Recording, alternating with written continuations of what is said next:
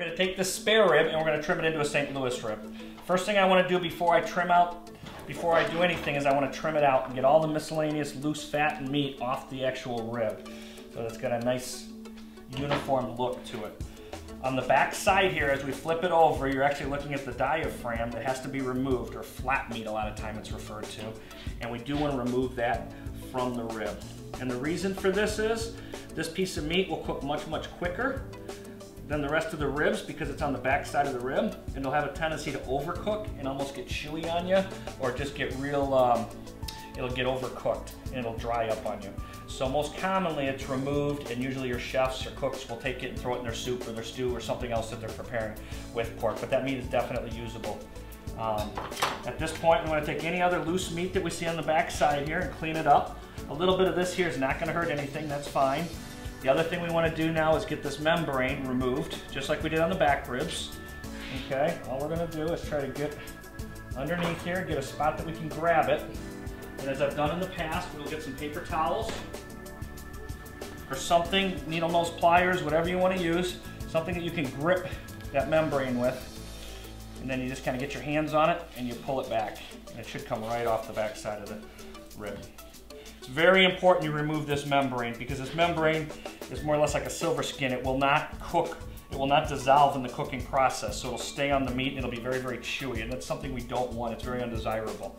Um, at such time, when you got the whole back cleaned up, we want to flip it back over. We're going to look for any other miscellaneous meat that may be coming off or really, you know, from uh, the standpoint of just, again, making everything look uniform and clean. We want to clean it all up. If you have any excess fat in any areas like this, you can trim a little bit of that off if you'd like. But again, a little extra fat like this type of fat, your soft fat, is fine because that will dissolve in the cooking process on the smoker. It'll actually just drip away and melt into the meat and add additional flavor to the meat and help keep it moist and tender. So there's nothing wrong with having a little bit of what you'd call like kernel fat or top fat. You just don't want that silver skin because that will not come off. Now when you're looking at the front top side of the rib here, you'll see kind of the natural curve. When you see a St. Louis rib at the store, what you're gonna do is you're gonna see a squared rib and we're gonna make a cut right along here to remove what we call the brisket bone. The brisket bone basically is what you'd see in a restaurant as rib tips in your average barbecue restaurant. You'll see it sometimes in sports bars. All that is is the top piece off the spare rib, which now you're turning it into a St. Louis rib. So really the only difference between a spare rib and a St. Louis rib is removing this brisket bone and soft bone. And we're pretty much just cutting our soft bone out and our flat meat, like so. It's a little bit towards the top here. It can be a little tough to get through, but if you get your knife in there and you got a nice sharp knife, it should cut through smoothly, like so, okay?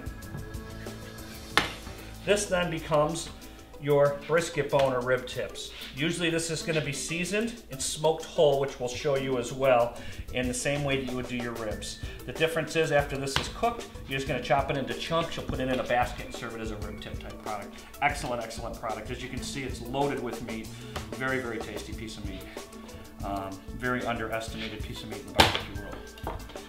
Okay, then that's gonna leave you here with the St. Louis rib. Now what we're gonna wanna do is kind of clean this up and trim it out and make it look a little nicer.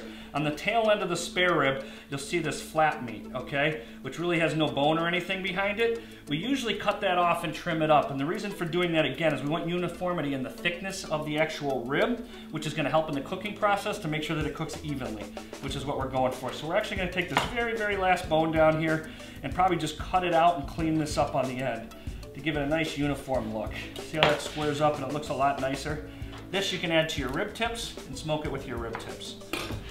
So that being said, we look pretty clean on that side and that side. Maybe just take a little bit more off this bone here to kind of make it look a little bit more uniform. And that should give you a real nice looking spare rib, which is what we're going for, or a St. Louis rib. So again, you can see where we came from on this. We went from a full spare rib. Let me do this right side up, guys, sorry. Am I doing that right? So we went from a full spare rib to cutting off the flap, cutting off the soft bone, creating our brisket bones, and then coming up with our true St. Louis style rib. Now we're gonna take this and season it and prep it for the smoke.